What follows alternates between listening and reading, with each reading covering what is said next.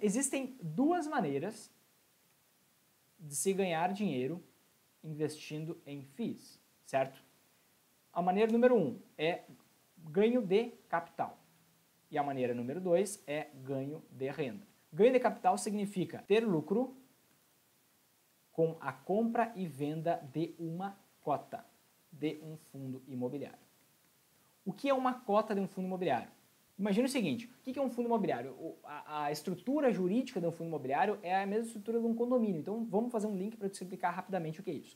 Um fundo imobiliário nada mais é como um edifício, certo? Um edifício. Imagina que está no edifício, o edifício tem vários apartamentos, o edifício tem um síndico, toda, todos os donos dos apartamentos moram nesses apartamentos, e aí esses moradores têm que pagar o condomínio todo mês. Uma parte do condomínio é o pagamento para o síndico pelo trabalho que ele faz como síndico, certo? Um fundo imobiliário é exatamente a mesma coisa.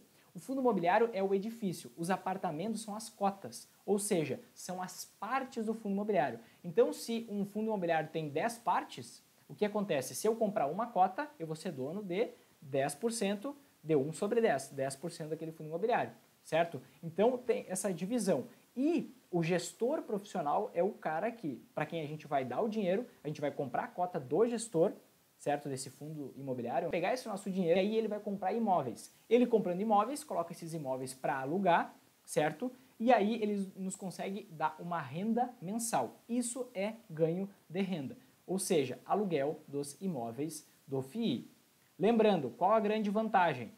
isento de imposto de renda. A gente não precisa pagar imposto de renda. Então, quando eu invisto num fundo imobiliário, todo mês pinga na minha conta, de forma, ó, todo mês pinga na minha conta o aluguel dos imóveis do FII.